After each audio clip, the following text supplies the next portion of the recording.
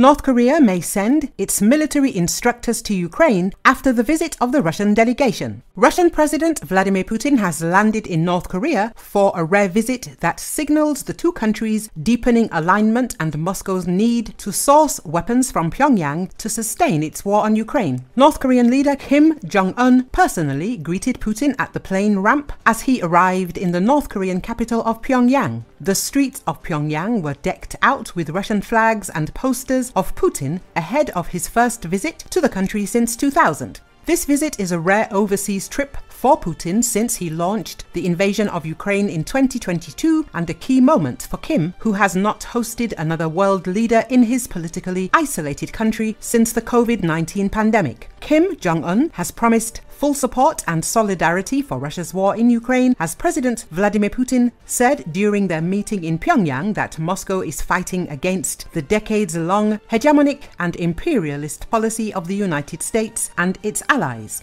Putin thanked Kim for unwavering support on Ukraine. Vladimir Putin and Kim Jong un have signed a comprehensive agreement pact between Russia and North Korea, which Kim described as peaceful and defensive, and which Putin said did not rule out the provision of mutual assistance in the event of aggression against one of the parties to this agreement. Speaking after his meeting with Kim, Putin said the new agreement is defensive in nature and includes a promise of mutual assistance if either is attacked. Russian news agencies reported, as he described it, as a breakthrough pact that will take ties to a new level. Kim described Putin as the dearest friend of the Korean people, saying that at this moment, when the whole world is paying close attention to Pyongyang, where the friendship mission from Russia has arrived, I stand with Russian comrades, our most honest friends and comrades. It is known that Defense Minister Andrei Belousov, Roscosmos head Yuri Borisov, Transport Minister Roman Starovoit, Primorye Governor Oleg Kozhemyako, and others flew to Pyongyang.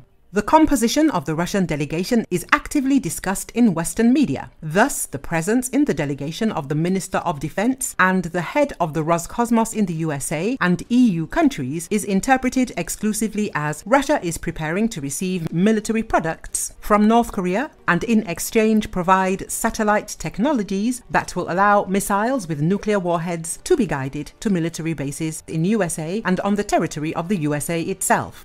Between August and February, Pyongyang shipped about 6,700 containers to Russia, which could accommodate more than 3 million rounds of 155mm artillery shells or more than 500,000 rounds of 122mm multi-rocket launchers. France suddenly became concerned about the visit of the Russian president together with a representative delegation to the North Korea. It turned out that experts remembered Macron's initiative to send military instructors to Ukraine. Let us recall that initially the French president spoke about a full fledged military contingent that could be stationed in Ukraine, for example, in Odessa. Considering the fact that French instructors have already been exposed during the fighting in Ukraine, experts in France say that the North Korea may make a similar move to recruit military instructors in contrast to the positions of Macron and a number of leaders of NATO countries.